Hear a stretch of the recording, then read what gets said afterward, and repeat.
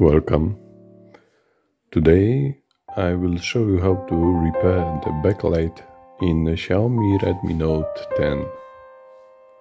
The first step you have to remove the metal shield where is located our backlight IC